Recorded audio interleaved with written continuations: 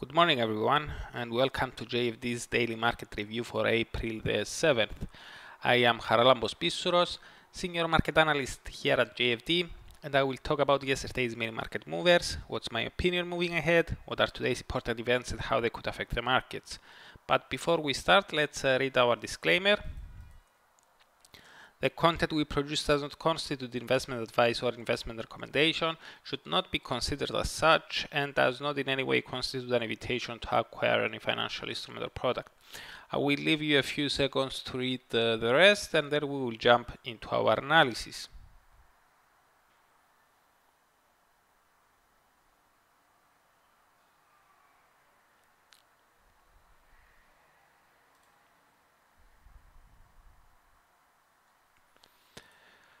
Okay, the US dollar traded lower or unchanged against uh, the majority of the other G10 currencies. It gained only versus GBP and the Canadian dollar.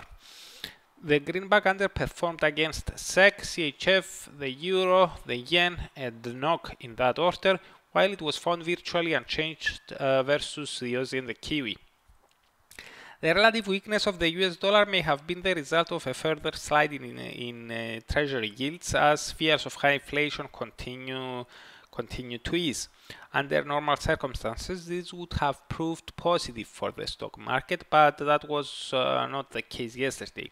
Yes, EU indices rose on their first trading day after the Easter holidays to catch up with Monday's rise in Wall Street, but US indices closed in the red on Tuesday, perhaps as investors turned cautious ahead uh, of the ahead of the Fed uh, minutes and the upcoming um, uh, quarterly earnings reports. Asian stocks were mixed uh, today, although Japan's uh, Nikkei and South Korea's KOSPI gained somewhat. China Shanghai Composite and Hong Kong's Hang Seng leads 0.37 and 0.75% respectively. As uh, for today, the main event on the agenda may be the minutes from the latest FOMC gathering. At that meeting, policymakers decided to keep all their uh, policy settings unchanged via unanimous vote, noting that bond purchases will continue until substantial further progress has been made towards their maximum employment and price, and price stability goals. As far as the new dot plot is concerned, four members voted for hikes in 2022, while seven members saw rates higher in 2023, but the median dots suggested that, in, that the interest rates are likely to stay at present levels even in 2023.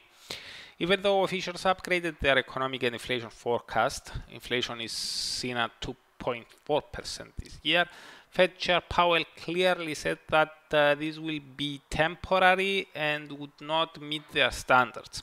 He also stuck to his guns that it is too early to discuss tapering quantitative easing. With all that in mind, we don't expect the minutes to paint a different picture. We believe that they will confirm that inflation is likely to rise and stay above 2% for some time in the years after 2023, and that it is too early to start uh, discussing policy normalization. In our view, this is likely to ease further fears over high inflation in the months to come and could also reduce more speculation uh, for higher interest for higher interest rates so sooner than previously anticipated. Equities are likely to continue their upside trajectory, while the US dollar may come under uh, selling interest. Now, as for the rest of uh, today's events, uh, during the EU session, we get the final services and composite PMIs for March from the Eurozone and the UK. As it is always the case, they are expected to confirm their preliminary estimates. From Canada, we have the Ivey PMI for March and the trade balance for February.